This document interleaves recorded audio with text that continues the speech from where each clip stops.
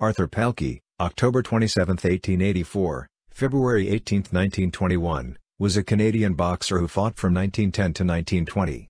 Born Andrew Arthur Peltier in Pain Court, Ontario, the 6 1.5-inch Pelkey fought in the heavyweight division at a weight of between 206 and 210 pounds. He was one of the white hopes of the time that African-American Jack Johnson was the world heavyweight champion. The height of his pro career and its nadir happened simultaneously when on May 24, 1913, he met Luther McCarty at Tommy Burns' arena in Calgary, Alberta for McCarty's worldwide heavyweight title.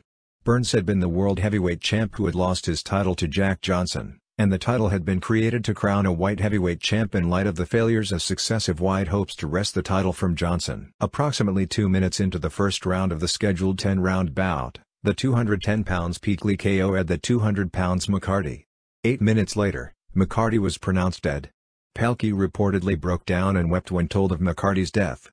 Tommy Burns' arena burned down the following day, likely as a result of arson. A coroner's jury ruled that McCarty had died of a cerebral hemorrhage.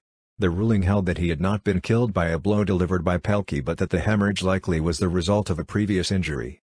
Pelkey later claimed that his legal expenses linked to McCarty's death bankrupted him. Pelkey reportedly was never the same after killing McCarty.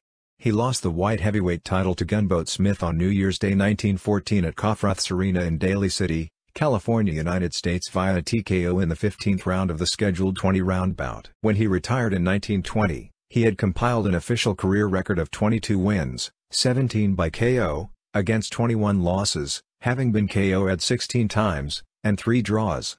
He also had 10 newspaper decisions, 5 wins, 2 losses and 3 draws.